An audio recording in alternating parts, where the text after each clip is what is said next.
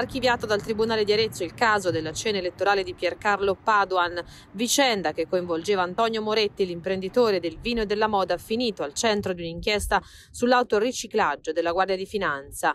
L'evento in questione risale al 4 agosto 2018, quando a Foiano fu organizzata l'iniziativa a supporto dell'ex ministro dell'Economia, candidato al Senato e poi eletto nel collegio di Siena, di cui Foiano fa parte.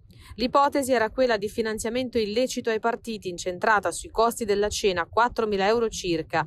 Ospite dell'appuntamento elettorale del PD, Padoan aveva partecipato alla cena che secondo la ricostruzione era stata pagata da una delle società riconducibili ai Moretti.